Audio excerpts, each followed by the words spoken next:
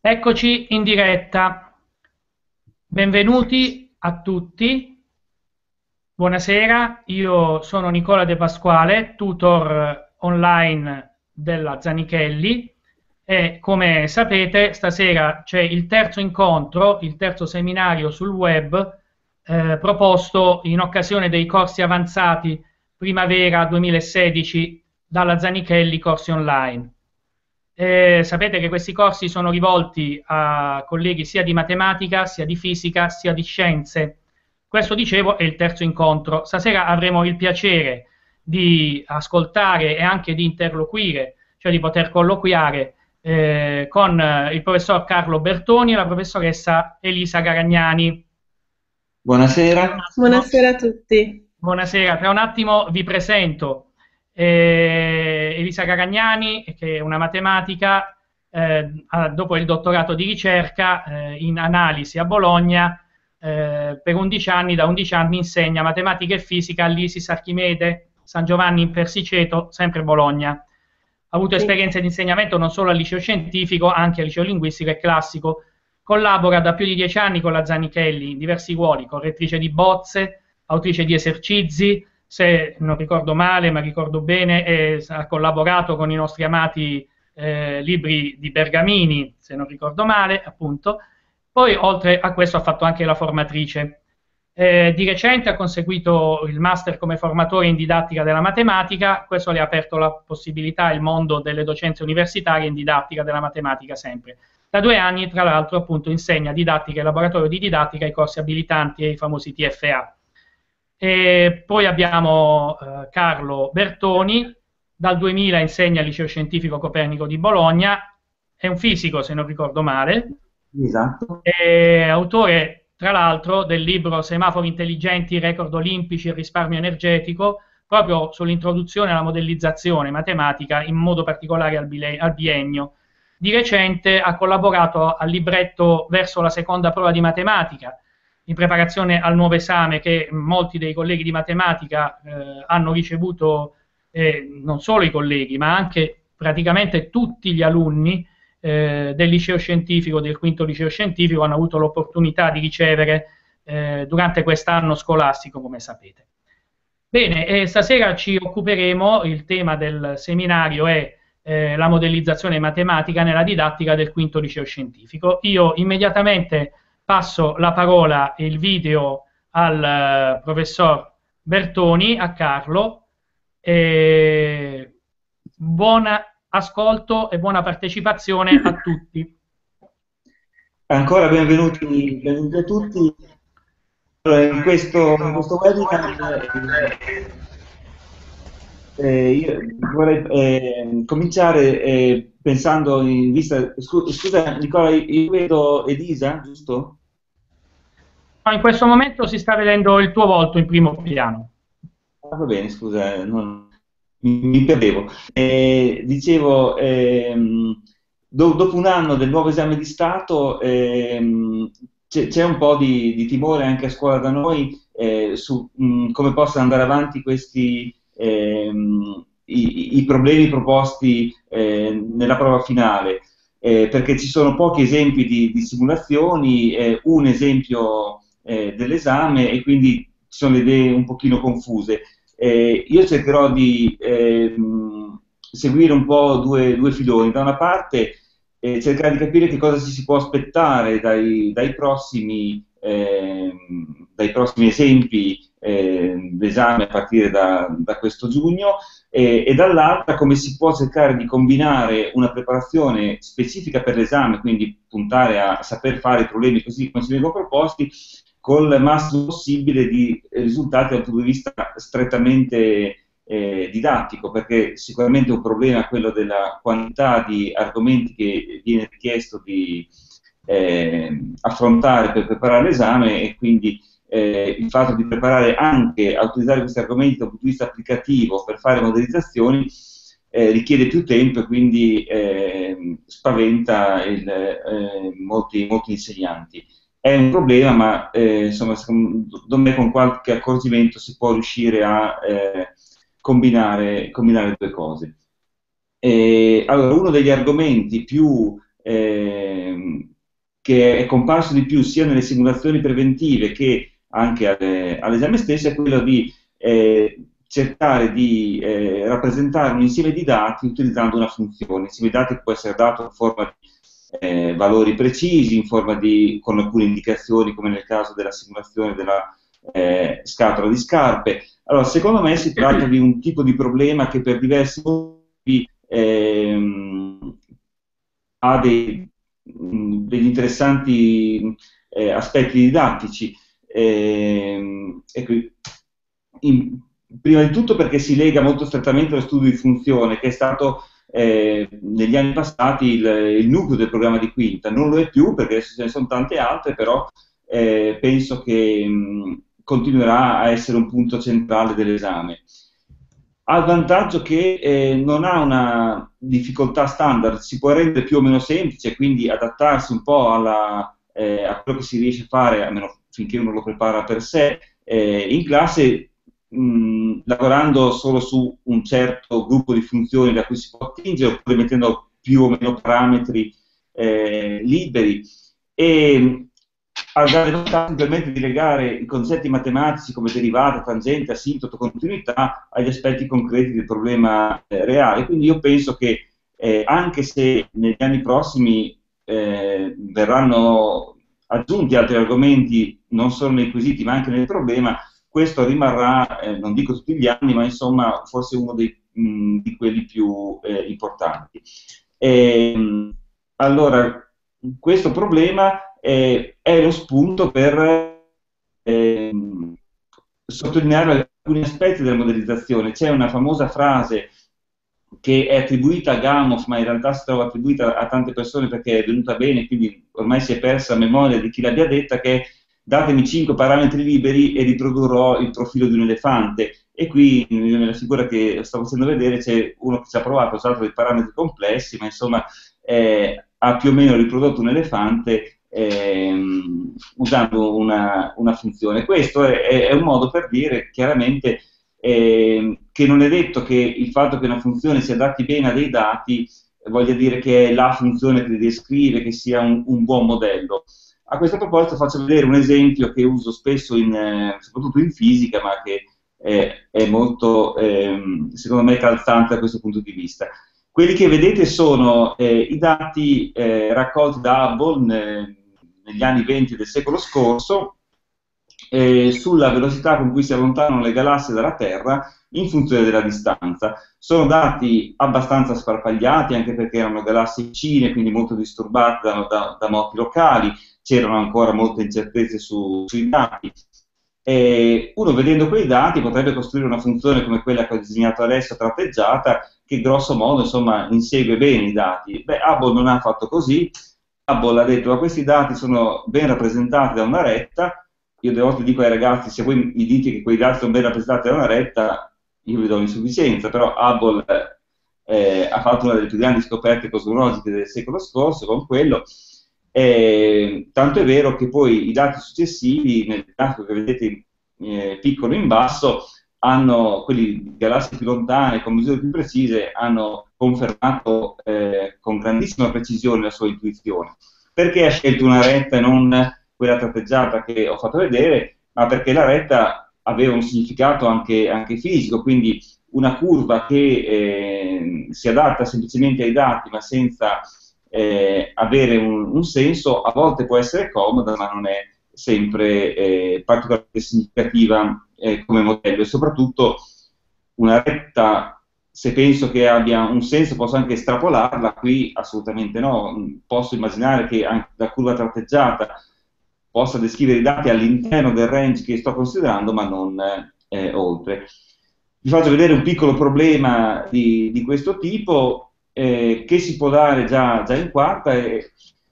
e scrivete una formula che descriva l'andamento annuo della temperatura a Roma in funzione della data, eh, sulla base di questi dati che adesso li ho raccolti un po' di tempo fa, credo che siano i dati eh,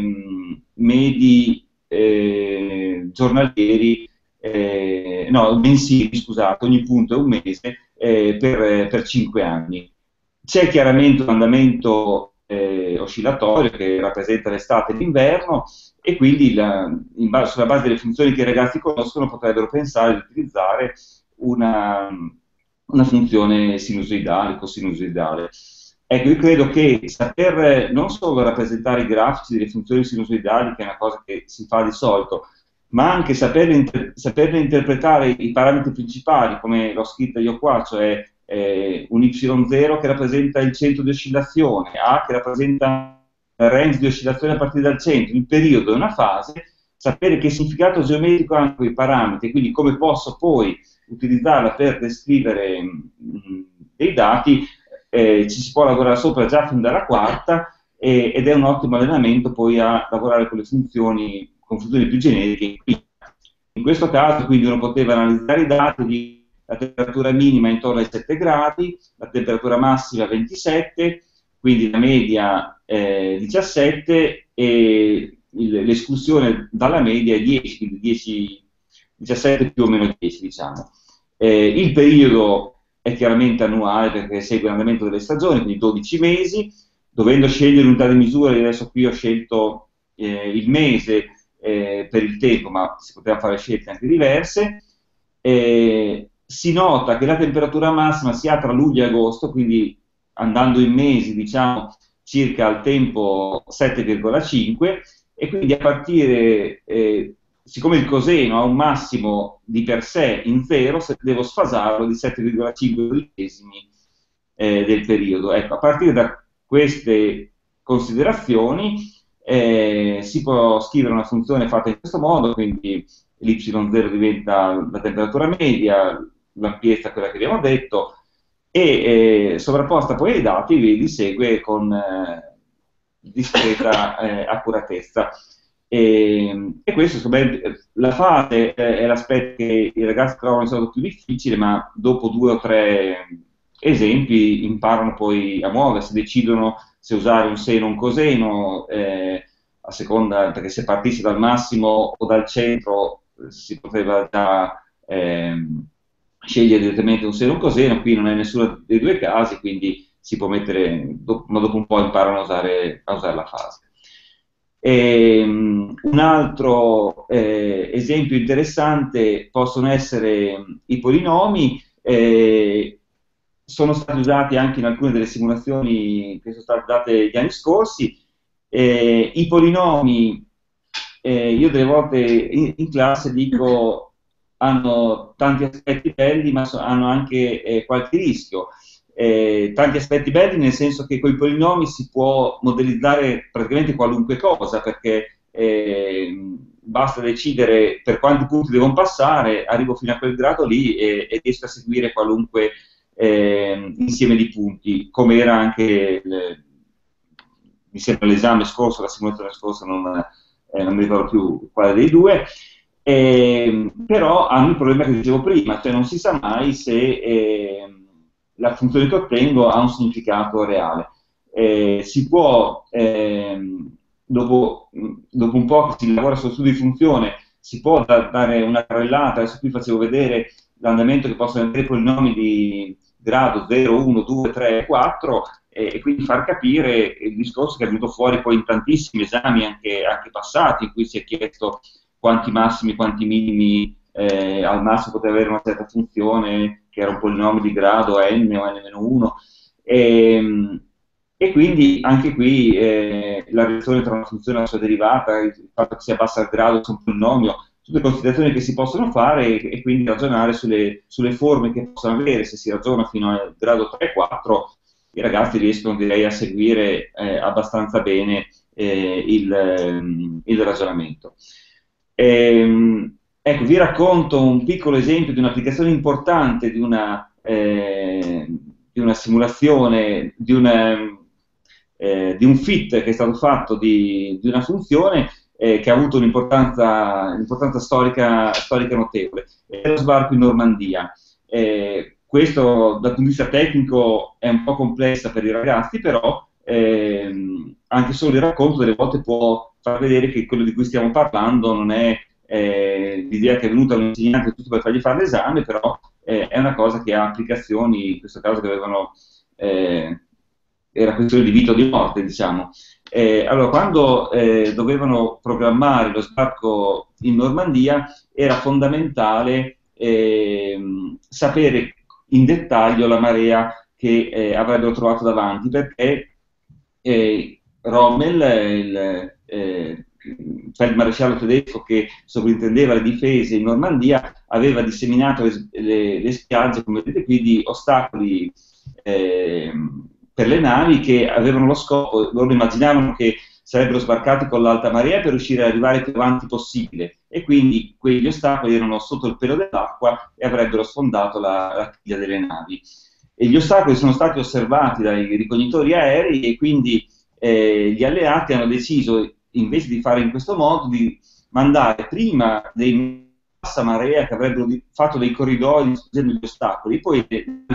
sarebbero arrivati con l'alta marea eh, passando in questi corridoi per arrivare più avanti possibile. Il problema è che in Normandia le maree sono, eh, hanno un'escursione di altezza enorme, anche 10 metri, e ehm, la, il livello può variare a velocità anche di, di, un, di un, metro, un metro e mezzo eh, all'ora. E è diverso da una località a quella successiva. Eh, per esempio qui vedete l'oscillazione della marea eh, in ascissa avete ora in ordinata eh, l'altezza del, del, mare in due località che distano 30 km l'una dall'altra. E vedete che c'è uno sfasamento anche di 20 minuti, mezz'ora tra il massimo e il minimo in una località e nell'altra e che nei punti più, più pendenti in un'ora eh, cambia di, boh, mi sembra anche 2-3 metri. Quindi era, era, necessario avere informazioni molto precise. Come le hanno ottenute? Eh, mandando dei sommozzatori, degli incursori nei mesi precedenti che misuravano l'altezza diverse ore e poi cercavano di ricostruire la funzione eh, usando una serie di Fourier, cosa che non, insomma, con i ragazzi si può magari solo accennare, però eh, quindi semplicemente mh, trovando i valori di, di parametri come, eh, che moltiplicano le diverse funzioni. Quindi in, questo modo eh, si poteva eh, provare a prevedere con eh, sufficiente precisione come sarebbe stata la marea eh, in una, certa, in, una certa, località. Ecco, con questo sul FIT direi mi fermo un momento, passo la parola a Elisa per eh, proseguire il discorso. Buonasera a tutti. E, ehm, io ritorno sì un po' anche al, a quello che è più nello specifico eh, quello che è il programma del quinto anno, dove vede l'analisi, il calcolo come protagonista per eccellenza e strumento potentissimo, indispensabile per tutte le scienze, per fare modellizzazione. Eh, in particolare volevo un po' confrontarci su mm, cosa significa inserire nei due argomenti principali che possono essere derivate integrali, il cuore un po' del, dell'analisi, cosa significa rivisitarli, rileggerli in una chiave di modellizzazione, non soltanto di eh, matematica astratta pura. Um, ovviamente per quanto riguarda eh, mm, per quanto riguarda la, eh, le derivate è facile mostrare come interpreta- mh, mm, le interpretazioni che si possono eh, dedurre, che sicuramente quella geometrica come pendenza della retta tangente, che anche questa è una sua applicazione notevole, importante eh, come approssimazione appunto delle funzioni localmente, sia come il tasso di variazione, la velocità di variazione che lega le due grandezze coinvolte. Ehm, e per, eh, ed è utile appunto fin da subito eh, mostrare degli esempi appunto contestualizzati in cui questa funzione f eh, descrive una interessante relazione con un'altra variabile eh, la fisica in primis offre degli esempi eccezionali seguiti da scienze naturali, sociali e ogni volta appunto che noi abbiamo una funzione che descrive una relazione la sua derivata ha una precisa interpretazione come tasso istantaneo di variazione interpretazione che bisogna aiutare i ragazzi a far diventare eh, abbastanza spontanea come interpretazione ma che purtroppo non, non è da subito. Quindi al di là di eh, esempi molto classici dalla fisica per cui si possono reinterpretare eh, la velocità mm, come derivata dalla posizione, l'accelerazione come rapporto, l'accelerazione media come rapporto tra variazione di velocità nel tempo e quindi passando al tasso istantaneo come derivata della velocità, potenza come la derivata del lavoro, l'intensità di corrente elettrica come la derivata della, della carica appunto che passa tramite un conduttore nell'unità di tempo, ma anche altri esempi di grandezze che non dipendono soltanto dalla variabile tempo, ma l'altra variabile protagonista della fisica, ad esempio, è la posizione, dove, non so, possiamo reinterpretare, pensare, laddove io ho una, una barra eh, non omogenea, poter introdurre eh, la, mm, la, partire dalla funzione che mi descrive la massa per il primo tratto L di lunghezza della sbarra e passare appunto come rapporto tra la variazione della massa rispetto alla lunghezza alla densità lineare. Queste sono solo appunto alcune applicazioni che dalla fisica vengono molto spontanee, ma ne possiamo trovare anche altre dalla chimica, come il tasso istantaneo di reazione, eh, con cui appunto cambia la, la concentrazione del reagente durante la reazione. Biologia offre tanti altri esempi, dato il tasso di crescita di una popolazione, l'economia, il costo marginale e, eh, e, anche questo dalla sociologia se ne possono trovare diversi altri. Eh, interessante è proporre ai ragazzi attività che a me e a Carlo ha sempre dato molta soddisfazione, è quello di, ad esempio, chiedere, chiedere agli studenti stessi di ehm, ecco, chiedere agli studenti stessi, ad esempio, di cercare in rete, sui giornali, grafici che descrivono qualsiasi tipo di funzione in funzione appunto di, qual, di, di un'altra variabile e proporre che, come interpretare la derivata di questa funzione, cioè che tipo di tasso di variazione ci sta dando e quale informazione utile o meno ci può, ci può dare.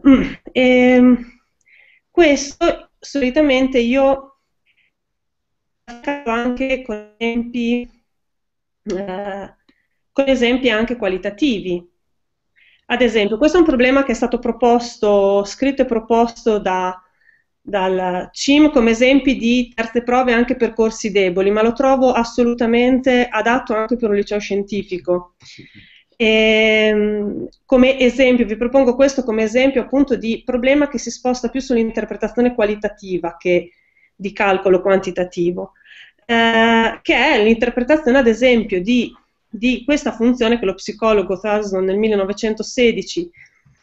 elaborò per descrivere il grado di apprendimento di una data abilità. E questo psicologo propone appunto questa funzione x, la cui equazione appunto è di x uguale a x fratto a più bx, dove a e b sono parametri positivi e x è eh, anche anch'essa positiva e rappresenta, quantifica in un certo senso pratica se fatto per arrivare a un certo grado di apprendimento. Quindi l'apprendimento come in funzione della pratica. E a questo punto può essere interessante, eh, una volta appunto che i ragazzi hanno riconosciuto essere un ramo di iperbole, il grafico che rappresenta questo, iniziare a chiedere, ad esempio, eh, qual è il significato dell'assintoto orizzontale nella psicologia dell'apprendimento. Quindi guidarli anche a, a mostrare che eh, l'apprendimento di una certa abilità eh, tende poi a stabilizzarsi, cioè infinita pratica non, non, non, non sempre corrisponde a un grado di eh, apprendimento illimitato, quindi dipende anche dalle personali attitudini, dalle capacità e ad esempio far ragionare sul ruolo dei parametri. E si potrebbero anche eh, eh, in qualche modo usare anche degli strumenti, strumenti informatici per per far rappresentare ad esempio questa curva parametrica e chiedere come questi parametri influenzano. Ad esempio la domanda del quesito era quel parametro B, se lo pensiamo legato ha diversi gradi di abilità che una persona può avere o di predisposizione. Maggiore, eh, maggiore è il, il valore di B a quali tipi di persone corrisponde, a persone più predisposte o meno rispetto all'apprendimento di quella particolare abilità. E sperimentare anche questo tipo quindi di eh, quesiti più qualitativi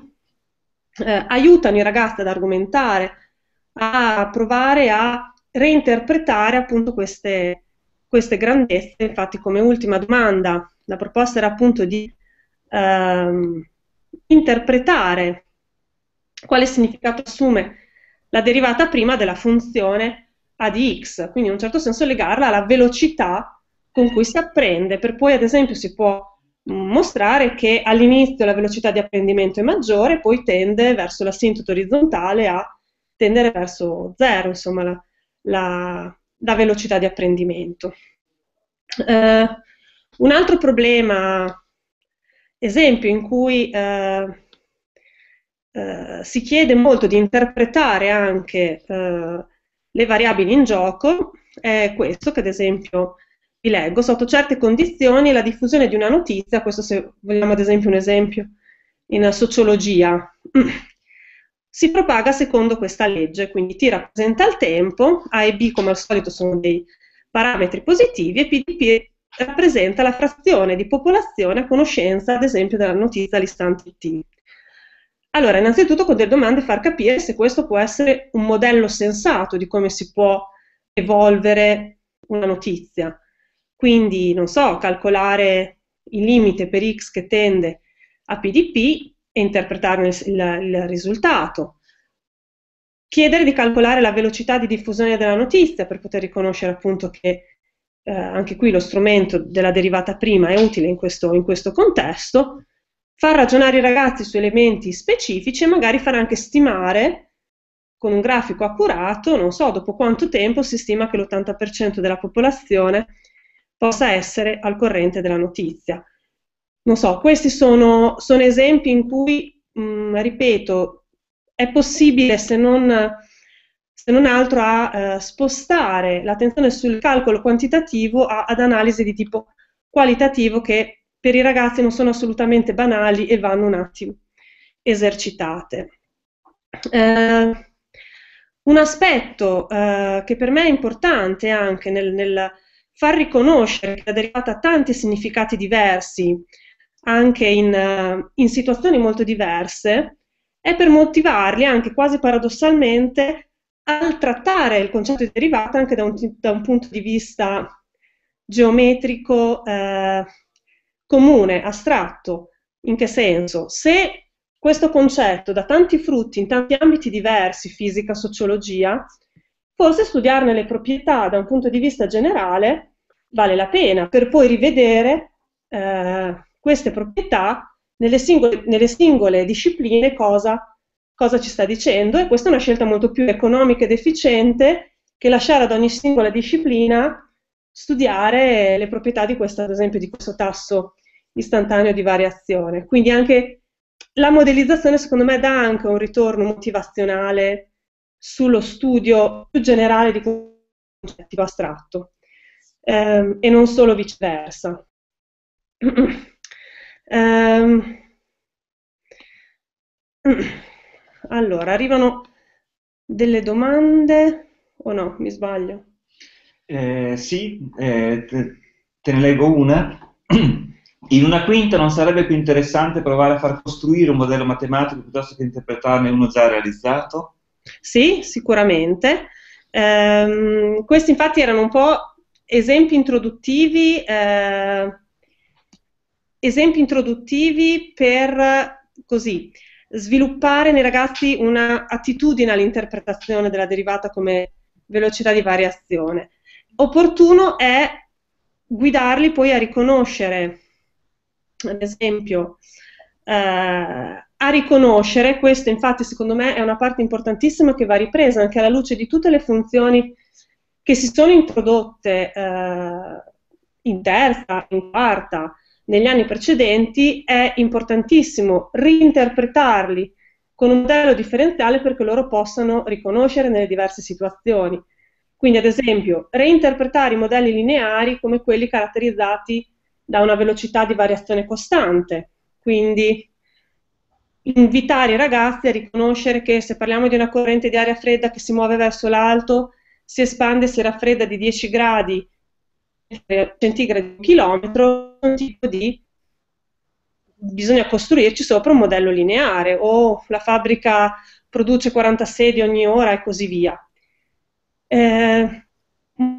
le simulazioni sono stati richiesti, se non erro, quando si chiedeva nello scorso anno, si modellizzava l'uscita dallo stadio del, del flusso di gente finita la partita, sia un modello di tipo esponenziale, quindi guidare i ragazzi a riconoscere che quando invece ho una velocità di variazione proporzionale al valore della funzione stessa, questo tipo di andamento esponenziale. Di esempi qua ce ne sono anche tanti per far rendere il tutto più spontaneo ai ragazzi, per farli esercitare dalla cultura batterica al decadimento radioattivo,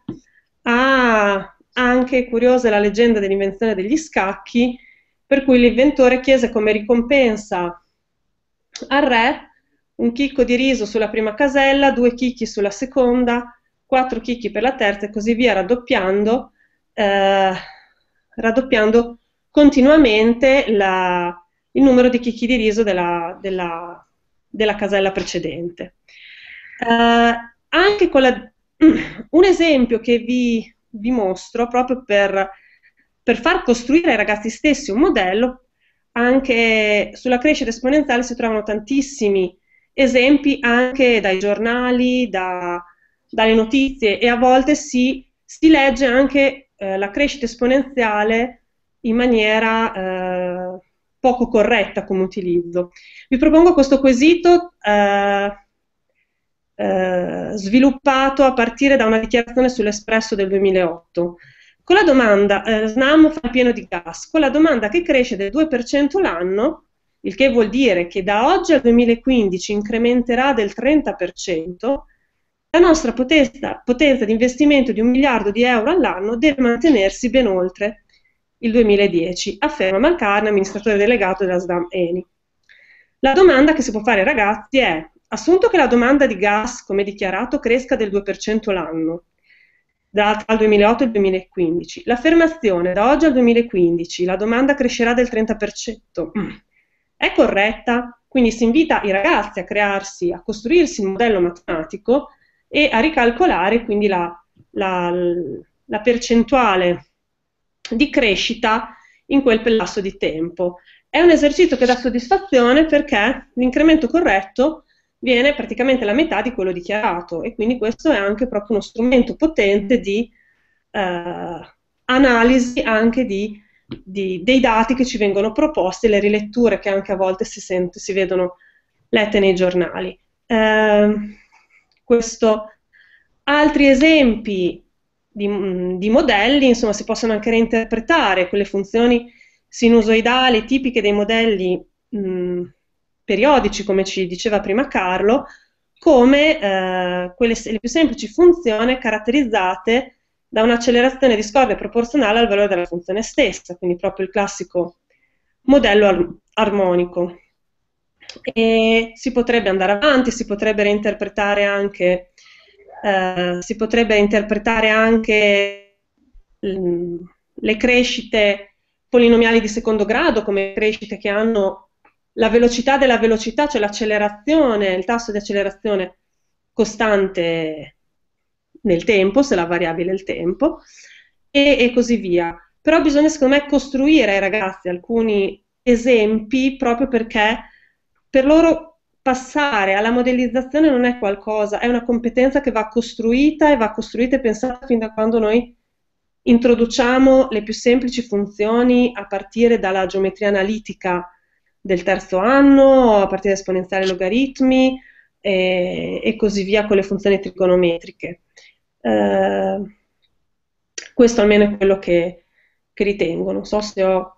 se ho risposto, ci sono altre eh, domande. Sì, visto, visto, che adesso sta per ripartire il, il, il, percorso che avevate preventivato con eh, il secondo intervento di Carlo. Io forse proprio pre- prenderei spunto dal, dall'ultima affermazione che hai fatto, quella relativa al fatto che va costruita una mentalità da parte dei nostri alunni, per porre una domanda che mi sono spesso fatto in merito. Eh, la mentalità appunto va costruita come, come, abbiamo detto, magari anche dal biennio, faccio riferimento per esempio al, proprio al, al testo di, di Carlo. La, la, voi che avete l'esperienza di aver portato magari dei ragazzi fino all'ultimo anno con, eh, con questo spirito, possiamo dire, eh, potete darmi una testimonianza del fatto che in qualche modo per i ragazzi risulta effettivamente un vantaggio eh, non dico soltanto a livello di, di, mentalità come si è evoluta la loro mentalità matematica eh, relativa a come affrontano l'esame di Stato, ma anche in proiezione a quello che succede poi nel momento in cui vanno ad affrontare gli studi universitari. Eh, non so se ho spiegato la domanda. Sì, sì, sì, per me è un valore aggiunto che è io, poi cedo la parola a Carlo. Non rispondere subito e magari poi dare la risposta in conclusione nella fase con- eh, conclusiva. Sì, sì, sì, io accenno, accenno brevemente al fatto che però io sto, sto decisamente avendo più, eh, eh, più, soddisfazioni che delusioni, anche come feedback eh, post diploma, insomma ormai ho due, due o tre quinte che ho portato a termine con questo tipo di percorso senza necessariamente affrontare i contenuti generali in maniera meno, eh, meno precisa. Sicuramente ho alleggerito la parte di calcolo, cioè la parte algebrica, e con anche il dubbio di magari non do gli strumenti giusti poi per affrontare eh, quello che chiede il mondo universitario. In realtà come feedback li ho avuti molto positivi, nel senso che poi chi eh, si iscrive a facoltà scientifiche ma non pure, quindi escludendo matematica e fisica, che comunque i miei studenti che si sono iscritti a matematica e fisica non hanno avuto problemi, eh, problemi di sorta. Gli altri invece si sono trovati con molta più naturalezza e desiderio usare gli strumenti matematici eh, perché già per loro la loro interpretazione era un pochino più, più naturale. Quindi ehm, oltre al fatto che già nel percorso li vedo più motivati, eh, per quanto è faticoso, è faticoso raccogliere esempi, è faticoso trovare del materiale, però eh, insomma, le, le, soddisfazioni secondo me arrivano e bisogna ripensare un po' la didattica, bisogna organizzarsi bene, cioè non sono cose che si improvvisano e soprattutto bisogna un attimo eh, dare il giusto peso alla parte di modellizzazione a quella appunto invece quella più, più classica che è altrettanto importante. Eh, passo la parola a Carlo che anche... Aggiungo eh, sempre su questa domanda anche la mia esperienza, dunque eh, vantaggi per gli studenti, se lo chiedi a loro nel momento in cui cominci a fare queste cose dicono di no, perché è più faticoso, non c'è dubbio, cioè eh, tutto sommato eh, l'analisi tradizionale almeno poi si fa al liceo in cui non fai tante dimostrazioni, eh, devi imparare una serie di tecniche più o meno complicate, ma insomma chiunque ne esce, quando eh, devi analizzare una situazione reale, capire come descriverla, eh, beh, c'è, c'è da, da sudarci un po' sopra. Eh, però adesso non mi ricordo chi, chi, l'ha detto, ma a me è piaciuta molto come frase, uno studente dovrebbe uscire da, da una lezione di matematica stanco magari, ma non annoiato. Ecco, eh, io vorrei vederli uscire distrutti perché hanno discusso, sudato, eccetera, però eh, piuttosto che seguire stancamente eh, delle, esercizi abbastanza simili uno all'altro. Eh, poi ehm, lo so che non, non, è questa l'alternativa completa, nel senso che anche un'analisi senza applicazioni eh, può essere profonda e stimolante intellettualmente, però da quello che è la mia esperienza eh, in realtà è, è stimolante per, per, molto pochi, perché in una classe sono in pochi quelli che riescono un po' eh, a andare a fondo sul significato matematico di certi concetti, mentre quando ne vedono l'applicazione in una percentuale molto più alta eh, si illumina e dice beh questo ha, ha uno scopo al di là di quello che mi sembra adesso ce l'ha lo stesso, però eh, lo vedono in molti meno altrimenti. E, um, un'altra esperienza che ho avuto, secondo me interessante, è che l'anno scorso avevo una quinta di linguistico, quindi eh, il livello a cui si lavorava era molto più basso tecnicamente, però ho provato lo stesso a far vedere esempi di questo tipo e sono tornati a trovarmi eh, una ragazza che fa biologia e mi diceva prof, io aiuto quelli dello scientifico perché loro sanno fare i conti, ma non capiscono che conti bisogna fare eh, per lavorare sulle cose. E, questo insomma, era, era stata contenta di, di, di riuscire a, a, gestire, poi tecnicamente sì, sono un po' indietro, ma eh, sto, sto recuperando. Eh, bene, a partire dagli esempi che faceva prima Elisa, cioè anche sulla funzione eh, esponenziale, eh, volevo spezzare una, una, lancia in favore di una funzione che a scuola è, mh, secondo me, un pochino, un pochino, trascurata, che è la funzione logistica. Eh, ora, non penso che sia una funzione che andrebbe studiata nel dettaglio come tale, però far vedere alcuni esempi, secondo me, eh, può essere mh, eh, molto interessante. Ehm, perché si, si, ragiona spesso su tanti esempi che danno la funzione esponenziale, perché la funzione esponenziale salta fuori, come citava prima Elisa, in, eh, in tante situazioni in cui la variazione è proporzionale all'ammontare in un certo istante, per cui la crescita di una popolazione è l'esempio classico, perché il numero di, di figli di una popolazione è proporzionale a quanta popolazione c'è. Il decadimento radioattivo, gli atomi che decadono sono proporzionali a quelli che avete eh, la mh, permanenza di un farmaco è un'esponenziale anche quella perché la quantità di farmaco espulso è proporzionale a quella che c'è. Il conto corrente, sappiamo che gli interessi sono proporzionali a quanto soldi abbiamo in conto, gli scacchi ne ha già parlato Elisa, e così via. Eh, però come eh, si vede in tante situazioni, un'esponenziale dura poi per sempre, quando uno fa una promessa del genere, l'esponenziale andrà avanti per sempre, eh, è sempre meglio eh, diffidare. Eh, allora, qui in basso vedete eh, quell'articolo che è tratto da un articolo apparso su The Physics Teacher, una, una rivista didattica della fisica americana, eh, che si chiama, è un articolo che a volte ho fatto leggere anche agli studenti, The New Flat Society, cioè la nuova società della Terra piatta, perché quello che è stato scritto in risposta a un economista che sosteneva che un'economia sana dovrebbe crescere sempre almeno dell'1-2% eh, diceva ma questo non si rende conto che una crescita dell'1-2% eh, sempre costante vuol dire esponenziale, quindi vuol dire che richiede risorse infinite. Ora una terra sferica non può avere risorse infinite e quindi eh, il ragionamento era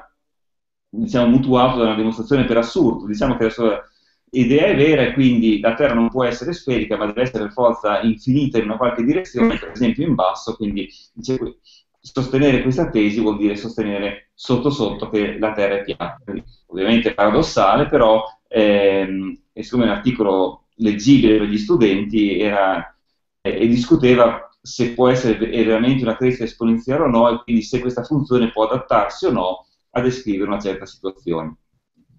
Eh, un'altra famosa legge esponenziale è quella che si chiama la legge di Moore, eh, che nel, negli anni 70 sosteneva che eh, i chip, eh, di, di micro, i transistor di, di, un microprocessore sarebbero raddoppiati ogni anno e mezzo, due anni.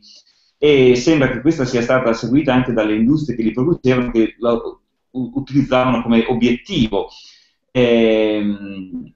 però ultimamente si comincia a dire che ormai eh, non, non, si sta più, eh, non si può più miniaturizzare, bisogna trovare altre strade per aumentare la potenza di calcolo dei computer, questo ho citato qui a destra è eh, un articolo apparso poche settimane fa su Nature eh, in cui intervistati dicono che non è più un obiettivo delle eh, case costruttrici ma eh, si cercano altre strade. La funzione logistica, eh, qui ne ho scritto una possibile parametrizzazione perché se ne trovano diverse, ma è sempre sostanzialmente quella, e questo è l'andamento. Vedete che nella parte iniziale sembra un esponenziale, in effetti potrebbe essere un esponenziale, poi a un certo punto la crescita diventa costante fino a raggiungere una situazione asintotica. È quello che succede per esempio quando una popolazione anche di batteri, che è il classico esempio di funzione esponenziale, eh, cresce con una quantità limitata di risorse a disposizione, quindi a un certo punto la lotta per le risorse limita eh, la crescita possibile. Eh, cito, senza fermarmi troppo, questo esercizio che secondo me è abbastanza significativo da questo punto di vista, che trovate sul libretto verso la seconda prova di matematica di Bergamini Rossi, eh, che studia la, la, secrezione dell'insulina da parte del pancreas. Eh, dice, eh, do solo indicazioni su come funziona e, e sugli aspetti didattici interessanti. Allora, l'insulina è secreta dal pancreas e serve a far assorbire il glucosio che abbiamo nel sangue. Quindi quando il glucosio è alto viene secreta molta insulina che fa eh, abbassare il glucosio. Se il glucosio è basso viene secreta poca insulina in modo che il livello di glicemia rimanga eh, sufficientemente alto. E quindi inizialmente le, le, cellule del pancreas reagiscono alla quantità di glucosio nel sangue eh, in modo più o meno proporzionale, quindi più glucosio c'è, più insulina viene secreta e eh, però le cellule del pancreas non sono infinite, quindi c'è un limite a questo eh, che è la sintosi che lì chiaramente eh, si vede. Allora in questo esercizio viene proposta una funzione che esprime ehm, quanti, eh, quante unità al minuto di insulina vengono secrete in funzione della glicemia. E la prima domanda è tipica della modellizzazione. Eh, perché nella funzione abbiamo posto che eh, G deve essere maggiore di 0 se la funzione ha un senso matematicamente parlando, se io chiedessi qual è il dominio mi direbbero tutto R. Perché ha messo G maggiore di 0? Perché G minore di 0 non ha nessun significato rispetto al, ehm, alla situazione concreta e quindi dal punto di vista del modello non va considerato anche se fa parte del dominio diciamo, matematico. E poi si chiedono, si fanno alcune domande che di per sé sono semplicissime rispetto alla funzione, per esempio, qual è secondo il modello la massima rapidità possibile di secrezione dell'insulina? Che è come dire qual è il, il, massimo della funzione. Se lo chiedo così è banale, però se lo chiedo in questa forma vuol dire che devo capire bene cosa significa eh, la funzione che ho davanti. Per esempio, rapidità potrebbe confondermi con la derivata, invece no, non è così perché la, la funzione stessa esprime la rapidità. Quindi, eh, insomma, sono solo il linguaggio con cui sono scritte eh, richiede un'attenzione, secondo me, molto mm. utile eh, per imparare a tradurre un, eh, una situazione e a passare dall'aspetto a quello eh, reale. Ehm, dunque, salto gli altri aspetti perché trovate facilmente eh, l'esempio su, ehm, sul libretto che è, è anche risolto e, ehm, e, lascio la parola a Elisa per la parte sugli integrali. Sì, ehm, allora, eh, leggevo, mm, ne ho approfittato un attimo per, per leggere qualche domanda. Eh, qui nel question and answer leggo, si parla sempre più spesso del fatto che in futuro verrà consentito l'uso della calcolatrice grafica programmabile durante l'esame di Stato. Cosa ne pensate? Come dovrebbero essere cambiati gli esercizi per adeguarli all'uso di tale strumento? Eh, penso che insomma, in molti stati europei è già, è già consentita e questo permette, eh, consentita ad esempio in Francia, tra l'altro è esplicito in quali esercizi si può usare questo strumento e, e in quali no. Penso che possa offrire grosse opportunità e soprattutto eh, ehm, soprattutto si potrebbe eh, proporre esercizi di modellizzazione meno, meno, banali e meno finti in un certo senso, se uno ha gli strumenti giusti per rappresentare funzioni, gestire parametri e, e, insomma è questo. Ad esempio, ne approfitto per mostrarvi una delle attività che in, che in genere mi gioco o come introduzione agli integrali, se quella classe non l'ho avuta in fisica o in fisica, eh, ed è quella di partire un po' da, eh, da un video, eh, ad esempio di questo tipo, non invitando assolutamente a, all'emulazione gli studenti, quindi etichettando subito come incosciente, però è un classico esempio in cui di video su YouTube se ne trovano tanti in cui ad esempio è possibile vedere la velocità, come varia la velocità senza avere in qualche modo altri parametri.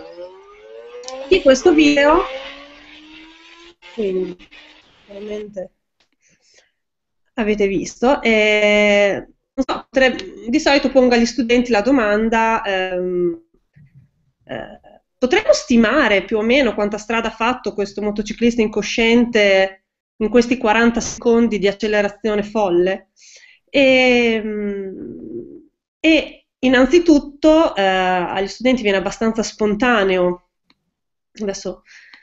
eh, vi condivido, viene abbastanza spontaneo eh,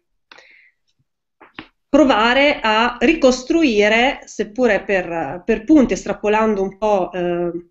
le informazioni dal video, l'invito insomma a stoppare il video a cadenze di ogni secondo e a notarsi la velocità eh, con cui il motociclista stava procedendo, fino a costruire quello che è appunto il grafico della velocità in funzione del tempo. Eh, a questo punto eh, eh, si ricorda agli studenti che dal momento che abbiamo diviso in tanti intervallini di un secondo, potremmo in quel secondo pensare di approssimare la velocità costante, questo è anzi quello che propongono alcuni studenti spontaneamente, o altri viene spontaneo più mh, pensare a una funzione continua e quindi a, eh, a, a, congiungere questi punti con una spezzata. Eh,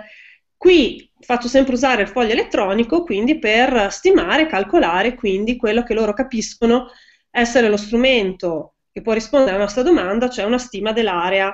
del sottografico. Eh, area che quindi si può calcolare con, con il foglio di calcolo elettronico, in questo caso, in questo caso veniva eh, che il motociclista in, po- in, in, neanche 40 secondi aveva già superato ampiamente 2 km e insomma questo da ricostruire un po' questo percorso dà abbastanza soddisfazione, eh, soddisfazione agli studenti. Eh, per quanto riguarda il concetto di integrale, eh, volevo un attimo così esplicitare il fatto che è molto meno eh, naturale la reinterpretazione grandezze, soprattutto pensando alla fisica, di grandezze che sono integrali di altre funzioni, piuttosto che derivata, che è molto più spontaneo interpretare altre funzioni come derivate. Per questo io è già da tempo che affianco alla classica definizione di integrale, quella classica, insomma, che si trova più diffusa nei libri di testo, quindi come somma superiore, somma inferiore, quando, il limite delle somme superiori e somme inferiori quando esistono e coincidono, anche la reinterpretazione, quest, in questa, questa attività del, del video mi aiuta anche a pensare invece, interpretarlo come limite di somme. Mi spiego con degli esempi, che è un po' l'interpretazione che tra l'altro un matematico chiede che è il, che sono le somme di Cauchy, che è esattamente un modo assolutamente equivalente di definire l'integrale di Riemann. Ehm, in che senso? Questa è l'attività che ho fatto. Pensiamo a, alla velocità, quindi quello che abbiamo fatto è di suddividere l'intero intervallo temporale, eh, nel nostro caso 40 secondi, in n intervallini, e quindi di, di durata t su n. E abbiamo stimato in un, in, un, diciamo, in un, istante di ogni intervallino la velocità in, in un punto di quell'intervallino. Quello che si fa per stimare appunto l'area del sottografico, cioè in questo caso lo spostamento, è stato sommare eh, questi prodotti, insomma. Mandando, eh, si capisce che tale stima si raffina sempre di più tanto più piccoli si prendono gli intervallini, quindi tanto più stime si fanno delle velocità nei vari punti, fino ad arrivare appunto a interpretare l'integrale come limite di una somma di quelli che al limite stanno diventando infinitesimi. E quindi con una scrittura di questo tipo. Scr- percorso che si può, che si può in, in un certo senso ripercorrere in maniera più generale, quindi interpretando proprio ehm, l'integrale di una funzione f rispetto alla variabile di x nell'intervallo a b come limite di somme. Limite in che senso? Limite delle somme di, tutti i prodotti che si possono ottenere dell'ampiezza, quello che il delta x diventerà poi di x, eh, moltiplicando il valore della funzione stimato in, una, in un punto qualsiasi. Mi spiego meglio con, se riesco a condividervi, uh, chiedo scusa. Ecco, un'animazione con GeoGebra mi aiuta meglio a spiegare quello che intendo. Eh, quindi, qui abbiamo le classiche eh, somme superiori e somme, direi, adesso magari vi giro io a voi la domanda come, come, definite gli integrali, però in genere la proposta più diffusa nei libri di testo, questa. è proprio la classica della Riemann, è questa, no? Sì. Eh, esatto, invece la definizione di Cauchy, che si dimostra essere assolutamente equivalente a quella di Riemann, è la seguente, praticamente sì, si, si divide sempre in intervallini, l'intervallo AB. In, ogni, in uno di questi intervallini si sceglie eh, un qualsiasi mh, mm, punto del grafico eh, relativo a quell'intervallino e si fa tendere, qui ad esempio uno slider che mostra l'arbitrarietà della scelta, cioè quale percentuale rispetto al, eh, all'estremo di qui se prendo il punto centrale, qui se lo prendo un pochino più spostato verso destra negli intervallini e anche qui si vede che quindi l'integrale lo posso pensare come il limite di, questa, di queste somme, di questi, eh, di questi rettangoli eh, generici. Questo aiuta un pochino di più l'interpretazione appunto di nuove grandezze fisiche. Eh, ad esempio, ritorno, eccoci qua. Eh, i classici esempi insomma, della fisica che si possono reinterpretare come l'integrale, al di là di... Eh, ecco, vi proporrei i più classici, si possono proprio interpretare come limiti di somme, quindi se ho il lavoro di una forza costante eh, per, per, lo spostamento, laddove la forza non è costante, eh, adesso questa S è diventata una X, laddove la forza non è costante, sommo tutti i vari contributi nei delta S infinitesimi e quindi questa somma con n che tende all'infinito di questa somma diventa un integrale. Di nuovo, qui ogni, l'impulso, se lo penso come al prodotto di una forza costante in un certo intervallino di tempo, laddove la forza non è costante devo sommare eh, così dei, in, su intervallini di tempo in cui la posso assumere, approssimare costante e mandare il limite per, uh, per quel numero di queste inter- suddivisioni all'infinito. Ehm, qua mi riservo un altro problema. E queste interpretazioni integrali sono sicuramente un pochino meno, meno, naturali, almeno per quella che è la mia esperienza, eh, per quella che è la mia esperienza in classe.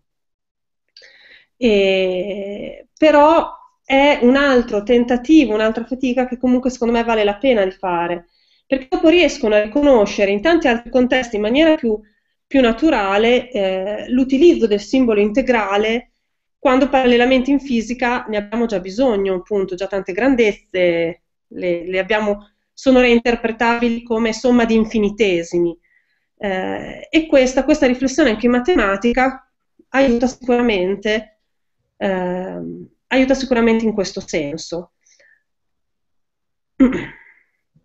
Bene, allora dopo questi argomenti che sono tutto sommato eh, abbastanza mh, classici, nel senso che sono quelli che ormai da anni eh, hanno il ruolo principale anche nell'esame di Stato, eh, volevo proporre un, un piccolo approfondimento eh, di un argomento che secondo me invece se lo guadagnerà, ehm, io sinceramente lo spero, nei prossimi anni, che è la probabilità. E quindi provare a immaginare anche un, un problema, non solo un quesito eh, legato alla probabilità, quindi un, qualcosa di più complesso eh, dei soliti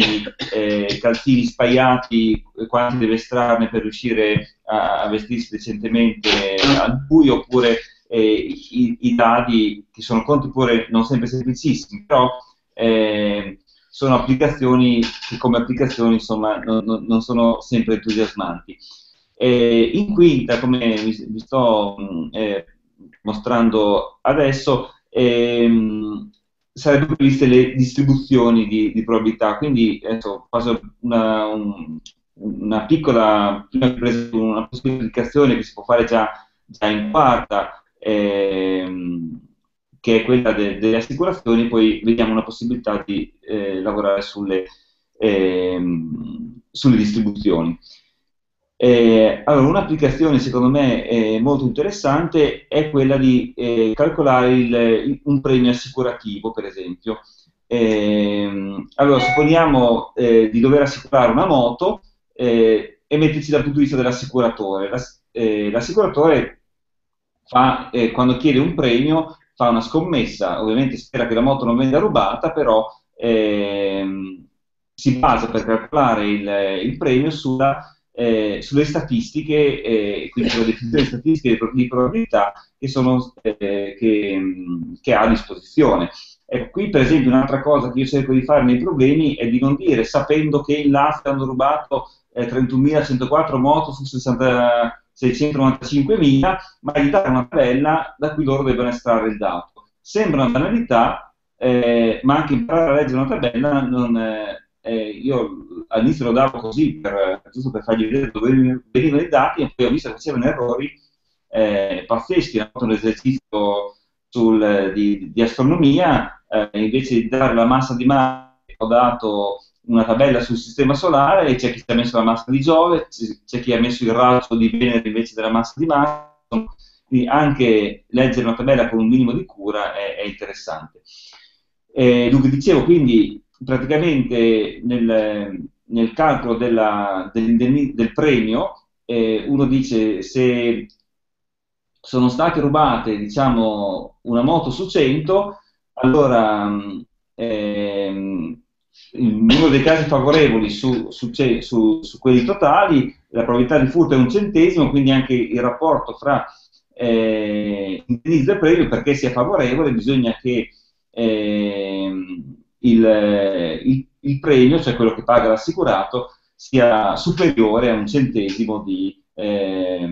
dell'indennizzo che, eh, che, viene richiesto. E, ehm, superiore di quanto di solito lo lascio stimare liberamente al, agli studenti perché non lo pongono uguale, perché anche l'assicurazione, soprattutto quello che si può dire, ma deve, deve camparci, quindi deve essere almeno leggermente superiore. Ehm, una, un'altra possibilità è quella di far calcolare anche le assicurazioni sulla vita, però questo quando l'avevo proposto per esercizi in un libro mi hanno detto che non era adatto da, da far vedere a scuola, eh, mettere i furti delle moto, quindi abbiamo messo quello, però anche questo per imparare a leggere tabelle, vedere quanto può costare un'assicurazione sulla vita a una certa età, eh, può essere eh, interessante. Ecco, eh, questo tipo di problemi hanno anche il vantaggio che eh, si prestano a, beh, come tanti poi, eh, a, a, far vedere raffinamenti successivi del modello, perché per esempio in quel caso delle moto si può dire, supponi che una moto costi 10.000 euro, però loro sanno benissimo che una moto non costa 10.000 euro, oppure che una è più vecchia, una è più giovane, allora si può anche mm, far calcolare una, eh, una media eh, del prezzo delle moto. Come faccio la media? Deve essere una media eh, della distribuzione, quindi eh, che è esattamente quello che si studia in quinta, no? come calcolare la media di distribuzione, cioè sommare eh, la, la, probabilità che una moto abbia un, un certo valore per il valore stesso. E, ehm, e questo è, è, un altro eh, che può essere poi legato per esempio all'analisi eh, del rischio, che è una tipica applicazione di questo tipo di media. Normalmente quando si calcola il rischio di un evento eh, si fa il prodotto della probabilità per il danno che può causare. No? Un evento eh, frequente ma di, che causa un piccolo danno è più o meno allo stesso rischio di uno eh, raro ma che causa un, eh, un, grande danno. Per cui normalmente il rischio complessivo di un'impresa è la somma di questi eh, danni che possono essere causati, ciascuno la sua probabilità. È anche interessante una discussione su questo, quanto questo modello è eh, adatto, perché non è che questo è il rischio, questo è un modello che lo descrive, però uno potrebbe dire sì, ma per me se il danno è molto alto non voglio correre nessun rischio, quindi per me è già troppo, eh, soprattutto se si parla di umane, quindi ehm, si presta anche una discussione sul, su quanto la, ehm, il, eh, l'aspetto matematico eh, descrive come noi vogliamo eh, la situazione reale. Eh, si possono anche mostrare queste matrici di rischio che sono un modo per, eh, si sa che le formule spaventano, quindi la formula di prima per calcolare il rischio può far paura, allora in tante situazioni si preferisce usare una matrice che fa esattamente la stessa cosa, però eh, con dei colori e quindi eh, le cose spaventano meno che una formula. In questo caso si mette nelle, nelle righe la probabilità che avvenga un certo problema, più 1 quasi certo, molto probabile più 2, eccetera nelle colonne eh, quali sono le conseguenze. Questa che vi sto facendo vedere, per esempio, è presa dal sito della NASA, per cui quando devono valutare eh, i rischi che corrono quando preparano un viaggio spaziale, eh, quelli che poi compaiono nel rosso, che sono quelli che possono creare più problemi perché sono sia probabili che eh, causano danni elevati, sono quelli su cui bisogna intervenire eh, possibilmente preventivamente ma anche adesso in tante, ho visto che in tante amministrazioni anche in Italia ci sono tabelle molto simili eh, che servono appunto a, a, valutare i rischi e proponevo eh, come esercizio, lo scrivo qui, costruisci una tabella con rischio di interrogazione e le relative conseguenze per ogni materia nei diversi giorni della settimana e valuta quindi qual è il giorno più pericoloso per eh, andare a scuola eh, e può essere un'applicazione che possono sentire molto, molto concreta. Ecco, vi presento per concludere è un tentativo di costruire un problema completo di, adatto all'esame basato sulla probabilità. Siccome ci sono diverse domande, l'ho spezzato in due, eh, per cui quello che vi interessa è solo metà. Allora, nella città tal dei tali abitano un certo numero di famiglie. Nel 2015 ci sono stati 78 furti in appartamento e il valore della merce rubata è riportato nella tabella sotto, quindi 4 furti meno di 100 euro, 6 tra 100 e 500 e così via si chiede di rappresentare i dati in un istogramma, di stimare il valore medio della merce rubata in un singolo furto, il valore medio della perdita per famiglia abitante nella città e il possibile costo del premio assicurativo. Allora, già rappresentare i dati in un istogramma non è banale perché eh, i, i, range delle de, de singole colonne non sono tutti uguali, quindi uno potrebbe o fare semplicemente un diagramma come quello che ho riportato a sinistra, però in quel caso l'area non ha nessun significato, mentre adesso ha riportato l'istogramma vero e proprio in cui la, la frequenza è normalizzata alla larghezza del, eh,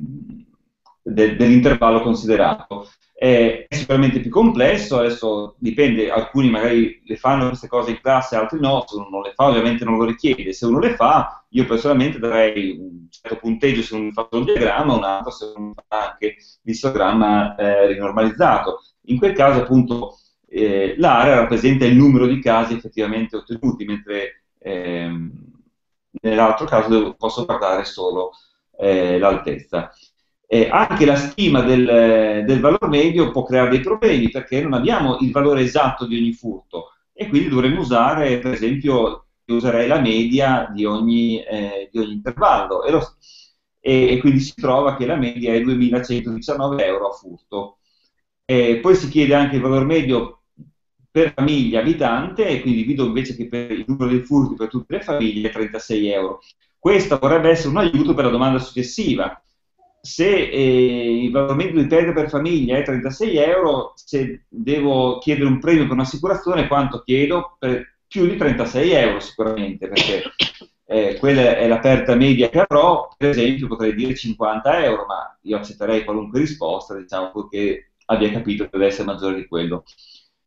Eh, il secondo gruppo di domande è un pochino più impegnativo, sulla base di un database più ampio che comprende sia i dati degli anni precedenti che di altre città con caratteristiche simili, uno statistico propone di calcolare il numero di furti attesi in una certa città per un certo valore utilizzando questa formula che vedete chiaramente è una gaussiana, eh, moltiplicata per n dove n rappresenta il numero complessivo di furti in città. Allora, quanti furti prevederebbe questa formula per un valore compreso tra 1.000 e 3.000 euro? E qui eh, non c'è da fare un integrale perché i dati che ho utilizzato sono, sono dalla media entro un sigma, quindi da eh, la media meno un sigma, la media più un sigma, quindi il 68% semplicemente. però quindi uno deve sapere come maneggiare la distribuzione gaussiana. Questo risultato è compatibile con i dati, eh, quindi se io vado dentro più o meno un sigma eh, sulla base della formula ottengo 53, i dati invece prevedevano 35, quindi non è molto legato ai dati. E quindi si chiede come si potrebbe modificare la formula per ottenere una maggiore aderenza ai dati, perché qui ci sono tante possibili risposte, che secondo me è una possibilità tipica di un problema di modellizzazione, non, non c'è una risposta unica, dico che va tutto bene, ma per esempio uno potrebbe rispondere mi calcolo la media e la varianza del campione e con quelle faccio una gaussiana e andrebbe bene, oppure aumento il valore di sigma perché vedo che eh, i dati sono, eh, devo eh, permettere di avere più dati dentro e anche questa magari meno completa, una risposta sicuramente accettabile. E poi l'ultima domanda in cui si chiede di manipolare un pochino la formula, eh, come si potrebbe modificare la formula in modo che contenga il parametro f che rappresenta il numero delle città? se voglio prevedere i furti, non so, non so, in anticipo quanti sono i furti totali, ma, ma, so quante famiglie ci sono. Quindi posso, invece di mettere n il numero dei furti, mettere la frequenza di furto per famiglia sulla base dei dati storici e rimoltiplicare per il numero di famiglie. Quindi invece di n, n totale su f totale il numero di famiglie di quella città. Sono manipolazioni molto semplici, però che richiedono eh, la conoscenza, cioè, la comprensione bene di in che senso la, il modello che stiamo usando descrive la situazione. E quindi credo che eh, in realtà non sia un problema semplice, questo qui che, vi ho fatto vedere, l'ho, fatto vedere a qualche collega eh, che hanno detto sì, eh, sicuramente non sono abituati, ma eh, questo dovrebbe essere l'obiettivo, secondo me, maneggiare un po' un minimo di probabilità statistica vuol dire sapere interpretare dati di questo tipo. E concludo eh, facendo riferimento a quello che diceva prima Elisa, eh, cioè che nei giornali si trovano tante funzioni, grafici, eh, delle volte vado a colpo sicuro e dico apriamo un giornale, cerchiamo un grafico statistico, vi giuro, eh, ogni giornale ne possiamo trovare uno sbagliato, perché, eh, e quindi mh, do un premio agli studenti che mi portano esempi di grafici sbagliati o fuorvianti, fatti male, che possono trovare sui grafici. Non posso dare troppi perché è troppo facile trovarne, quindi ehm, però all'inizio eh, si, si divertono molto in questa cazzata. Beh, Nicola, noi direi Beh. che avremmo finito. Beh, intanto io comincio col ringraziarvi perché veramente per me, anche soltanto personalmente, è stata veramente un, una serata non interessante di più perché il numero di spunti e la qualità degli spunti andando da, dai polinomi fino all'analisi e fino alla probabilità sono veramente di una quantità e di una qualità eh, straordinaria. Io dico spesso che durante questi corsi i, i, primi ad avere l'opportunità di imparare tante cose siamo noi, corsi, siamo noi tutor oltre che i corsisti. Bene, allora io in chiusura ho giusto da proporre una, due tra le domande che, che sono pervenute perché siamo veramente un po' stretti con i tempi. Quindi, diciamo, vi leggo una domanda in particolare che tra l'altro ne sintetizza un paio. Eh, volevo sapere se può essere utile, dice una corsista, al fine motivazionale, eh, dopo tutti questi esempi proposti durante il, se- il seminario, eh, far provare un esercizio inverso, dando ovviamente le opportune informazioni eh, insomma, chiedere ai, ai, ragazzi di far desumere dal grafico della derivata di una funzione quella della funzione di partenza. E nel tema dell'integrazione, se vogliamo. Eh, eh, comincio a porvi questa, poi vediamo se riesco a porvi anche la seconda. Prego, se volete. Sì, secondo me sono esercizi assolutamente fondamentali eh, proprio per sviluppare questo tipo di competenze, cioè il sapere anche ritornare indietro, quindi quale informazione la velocità, eh, la velocità ci dà sulla funzione, eh, funzione iniziale è veramente importante, sono esercizi che ci permettono anche noi docenti di tenere sotto controllo eh, quanto stanno apprendendo i ragazzi e consolidano delle delle competenze e delle abilità assolutamente non banali, quindi secondo me sono esercizi che devono assolutamente abbondare sia, sia in contesti di modellizzazione ma anche come esercizi eh, in contesto generale. Per me è proprio anche lavorare in questo schema di andata e ritorno sui grafici è di una valenza assolutamente che ripaga in una consapevolezza che gli studenti sviluppano nel trattare questi argomenti eh, importantissima, importantissima. Eh, mi è venuto in mente che avevo proprio un ultimo esempio di esercizio in cui, se mi ricordo eh, bene, provo a... Ecco, questo è un altro spunto che vi ho preso da... l'ha scritto una collega per la rivista Archimede. Il tronco di un albero che possiede che possiamo approssimare con un cilindro aumenta di diametro nel tempo formando ogni anno due nuovi anelli. La crescita è più veloce in annate di pioggia abbondanti, meno veloce in periodi più secchi. In una certa zona l'andamento delle piogge è ciclico e possiamo descrivere la velocità di accrescimento variabile nel tempo del raggio del tronco di un albero in una data specie con la funzione periodica, quella che leggete, dove vuoi la velocità di accrescimento in centimetri all'anno e t il tempo di anni. E qui proprio si chiede, oltre a interpretare i parametri come già Carlo diceva, eh, adesso qui non c'è proprio dal grafico eh, ritrovare la legge del raggio, però questo è un esempio di esercizio in cui si torna indietro, quindi determinare la legge che esprime il raggio del tronco, cioè nota, e qui è facile modellizzare con che velocità, con che ritmo cresce, si chiede ad esempio di ritornare al raggio. È un calcolo, un calcolo concreto. Quindi, secondo me, anche questi tipi di esercizi che richiedono di eh, questo processo di andata e ritorno, concordo con, con la collega, meno se, se nella, sua, nella, sua, ottica era, insomma, eh, lei li propone, io concordo in pieno che sono esercizi assolutamente utilissimi proprio. E penso anche Carlo sì, sì, sì, condivida. Allora Carlo, magari propongo a te la seconda domanda, che è la sintesi di un paio di domande che mi sono pervenute via mail e che sono nel tono di, della domanda che vi avevo posto anche in anticipo rispetto al seminario. Eh, in sostanza si può riassumere così, eh, impegniamo una quantità di tempo del, del nostro tempo scuola per eh, portare i ragazzi a, a, questo punto di maturazione che ci siamo prefissati riguardo alla modellizzazione. Eh, ciò comporta un costo, dal punto di vista del tempo scuola e, e economicamente da un punto di vista didattico un, uh, un, vantaggio senza dubbio oppure rischiamo di perdere dei pezzi importanti di quello che dobbiamo proporre loro come formazione. E lascio a te in questo certo. caso la risposta. Ah, io quando, eh, quando faccio matematica eh, sono continuamente, me, me, la faccio tutti i giorni questa domanda eh, quindi non ti dico senza dubbio, perché sicuramente bisogna raggiungere un certo equilibrio. Eh, sono problemi che richiedono molto tempo, per cui io normalmente eh, li assegno a casa in modo da discutere in classe solo la, la, soluzione, in modo che loro ci abbiano già pensato, perché se ci mettiamo a pensare, certo qualcuno all'inizio lo faccio vedere ragionandosi insieme in classe per far vedere che tipo di domande loro si devono porre, però eh, poi di cui assegno a casa in modo che ci possano ragionare, ragionare un pochino sopra. Vedo che prima si comincia meglio è, nel senso che cominciando al biennio eh, capiscono come funzionano le cose e dopo eh, si perde sempre meno tempo, perché eh, si perde molto tempo quando eh, i ragazzi non sono abituati a questo, certo, se uno non fa nulla fino in quinta, e poi in quinta vuole introdurre la modellizzazione,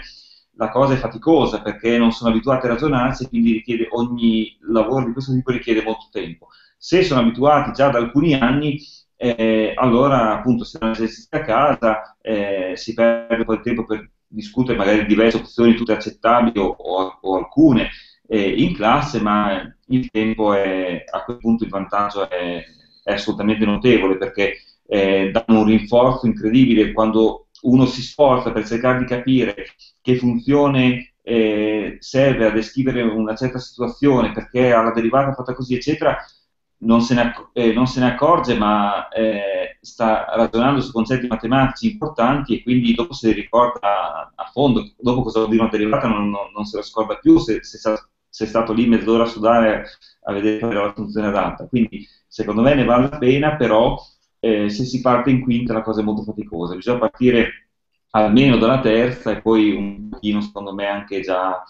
eh, già dal biennio. Noi facciamo di solito una, una prova di fine biennio, quest'anno sono riuscito a inserire un problema di questo tipo eh, nella prova, ma è, cinque anni che ci, ci andavo dietro, quindi so, eh, non, è, non, è, semplice. Però sì. Bene, allora siamo ai saluti e ai ringraziamenti. Io intanto devo ringraziare tutti i partecipanti che sono stati un numero consistente anche per questo seminario sul web, per questo webinar eh, che è l'ultimo che proponiamo ai corsisti in questa tornata eh, dei corsi online Zanichelli. Devo dire che i seminari sono stati seguitissimi, corre l'obbligo anche di rassicurare i, i corsisti che ci hanno chiesto a gran voce il materiale che esattamente come per gli altri due seminari ovviamente vi forniremo, cioè le slide relative. E ovviamente avremo la possibilità di andare avanti e indietro sul, sul seminario con YouTube e quindi potremo visualizzare il, il webinar. Non si chiude con il corso l'opportunità di poter eh, rivedere il webinar. Quindi eh, saluti da parte mia e da parte di tutti i tutor che hanno partecipato alla formazione a, ai corsisti. Un ultimo saluto, lascio giusto un, un attimo in primo piano, prima Carlo e poi Elisa per salutare tutti quanti e buona serata e buona prosecuzione della formazione. Grazie a tutti per, eh, per l'attenzione, buona serata. Bene, mm, così, un caro saluto anche da parte mia, grazie di questa occasione, insomma, per riflettere insieme. Buona serata. buona serata a tutti. Arrivederci. Buona...